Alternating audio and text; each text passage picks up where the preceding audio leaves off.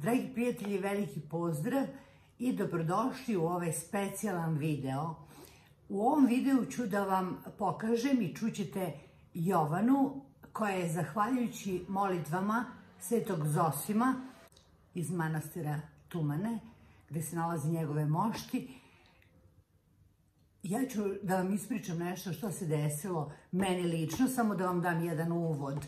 Nečim e, što me, sa čime sam jako ponosna i nešto što je mnogo važno možda za moje prijatelje koji mene prate na YouTube kanalu da znaju.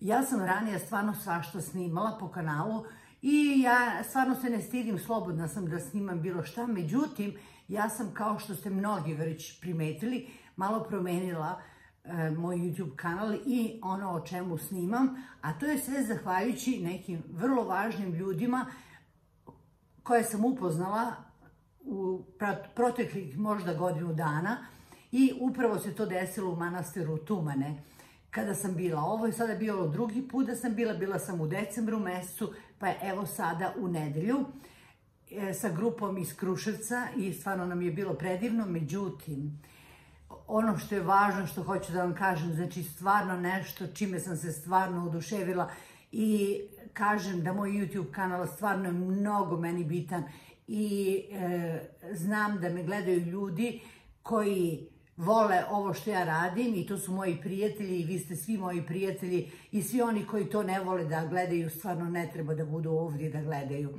Ali za one koji vole ono što ja radim, e, ja snimam za vas i e, najdivni trenutak u nedelju se desio kada samo što smo stigli u manastir i došli smo da čekamo u red e, da uđemo u crkvu da se poklonimo moštima Svetog Zosima i Svetog Jakova.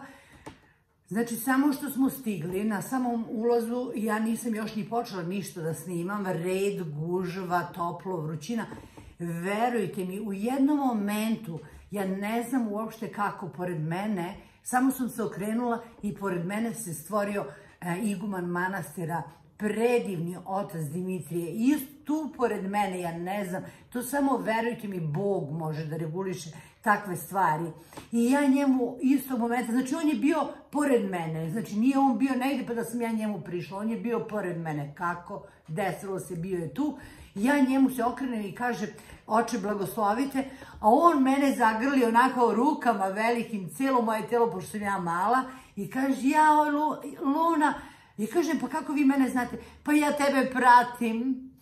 Znate šta, ja ne mogu da opišem koliko sam ponosna na to i koliko mi je to važno i koliko mi je bitno da me takvi ljudi prate. Zbog takvih ljudi ja snimam ovakve videe kakve snimam, jer sam shvatila da ko me prati, u stvari nisam znala ko može sve da me prati, pogotovo posle mog odlaska i puta u Svetu zemlju Jerusalim i posle mog odlaska u manastir Sveta Katarina na Sinaju, shvatila sam da svi mi imamo na ovom svetu sa našim rođenjem ili u nekom delu perioda e, svoju misiju na zemlji, i da zapišemo, zabeležimo neke trenutke važne koji će da oplemene i obogate druge ljude, da vide drugi ljudi koji nisu u prilici to sve da vide. Tako da, to je moja misija, ja ne odstupam od nje, nastavit ću ovako da snimam jer uživam u tome. Ja mislim da to mnogo dobro radim, pošto svako od vas koji je gledao svaki moj video na ovu temu, kaže kao da sam bio i svi ste jako zahvalni, svi volite da gledate takve vide. Tako da kada mene gleda e, i prati otac Dimitrije, iguman manastira Tumane, šta ja ima da kažem drugo? Isto, a, to, sam, to doživjela sad u nedelju, međutim, svoje snimanje i način i šta snimam sam promenila pre otprilike godinu dana, kada sam bila u e, crkvi e, u Birmingenu, bila je slava u Sveti Lazar ili Lazarica u Birmingenu i bili smo posle e, liturgije u jednom ogromnom restoranu gdje stvarno je to bilo toliko veliko slavlje, velika slava.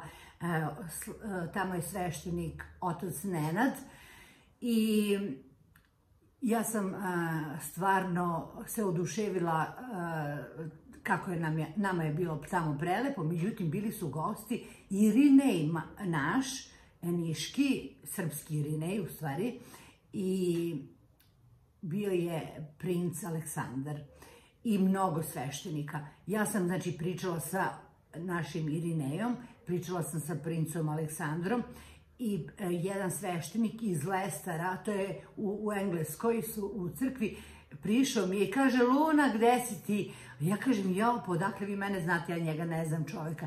Kaže, on meni se predstavi da je on e, sveštenik u, toj crkvi naše i kaže, ja i popadija moja tebe non stop gledamo. Tako da sam to htjela da vam ispričam i tako svi oni koji smatraju da ovo što radim da volite, da vas interesuje i tako ostanite sa mnom, prijavite se na moj YouTube kanal, pritisnite ono zvonce da dobijete svako obaveštenje i eto, uživajte u ovome što ja radim.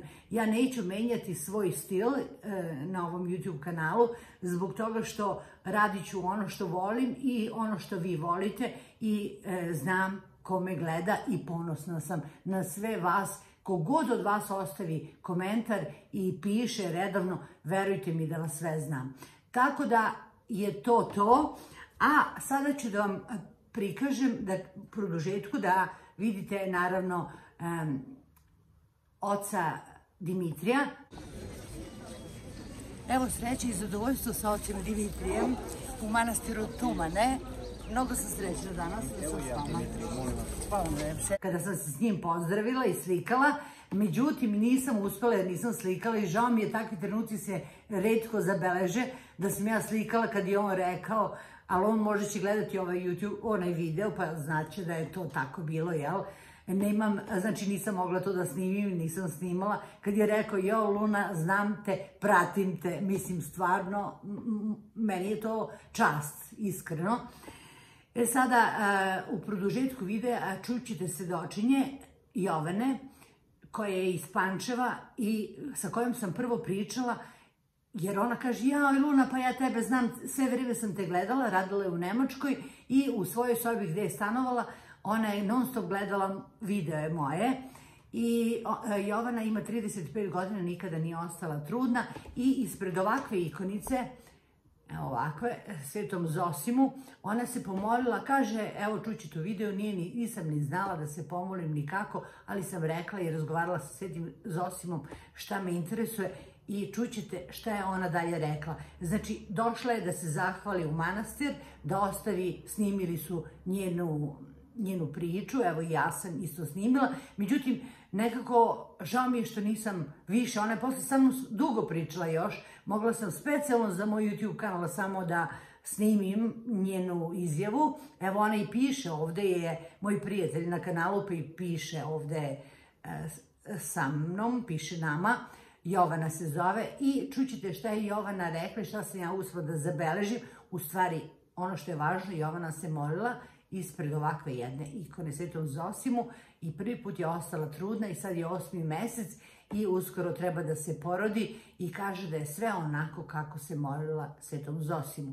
Da Sveti Zosim brzo pomaže svima, e, uverila sam se mnogo puta, imam video na tu temu, a vi pogledajte sada Jovanu i njenu priču i želim vam svaku dobru i svaku sreću i budite 23. augusta ako budete mogli u manastir Tumane gdje će biti preslačenje e, oba sveca, njihove odore. E, to je stvarno poseban, svečan, jedinstven trenutak da se bude tu, a, a također specijalno e, premeštenje njihovo u nove kivote. To je nešto stvarno posebno i to se stvarno mnogo redko radi. To je jedinstvena prilika da budete na tom mestu u tom trenutku. Eto, toliko od mene, veliki pozdrav i sve najlepše vam u srca želim i neka nas sve čuva Sveti Zosim i Sveti Jakov i molitvama našim u manastir Tumane da nam se ostvari sve želje, da nam budemo zdravi, da nam porodice budu zdrave, da svi budu naši monasi, da budu zdravi, da se molimo jedni za druge i da, da budemo srećni svi zajedno, kao što kaže otac Dimitrije.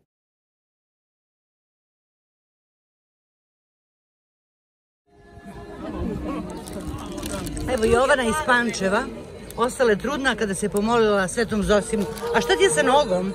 Ništa. Ništa. Koji je lako reši. Znači, Sveti Zosim je doneo bebu.